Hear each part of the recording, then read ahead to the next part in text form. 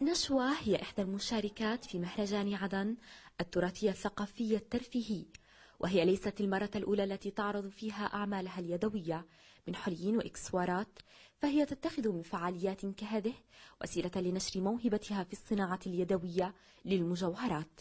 غير أن نشوى تشكو عدم اهتمام الجهات المعنية بالأسر المنتجة وإهمال توفير وسائل المساعدة لهم وخاصة للمرأة.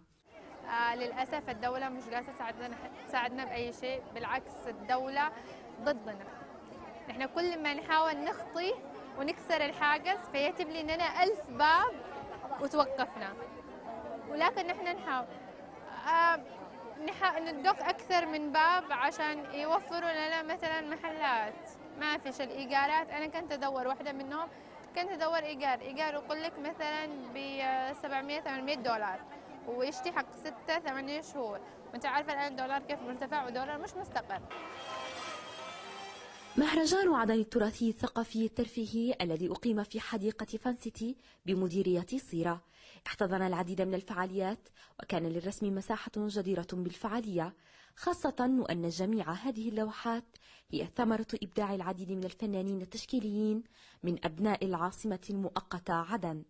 بالإضافة إلى الرسم تضمن المهرجان العديد من الألعاب التقليدية والموروثات الشعبية ما خلق مساحة من البهجة والسرور في نفوس المواطنين.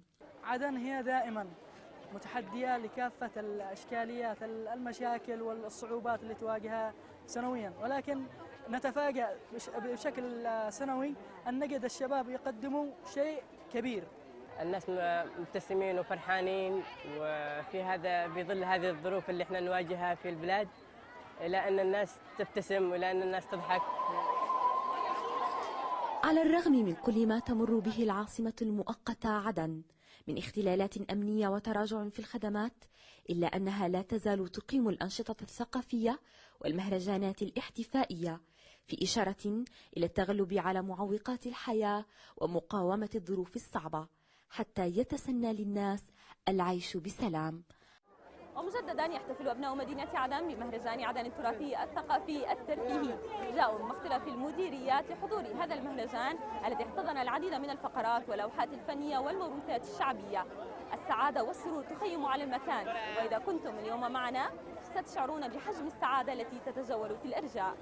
حنين جمال بلقيس عدن.